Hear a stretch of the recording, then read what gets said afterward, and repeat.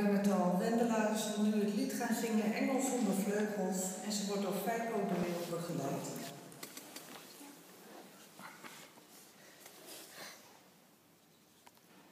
Nou, even wegpuffen. Dit is van mij.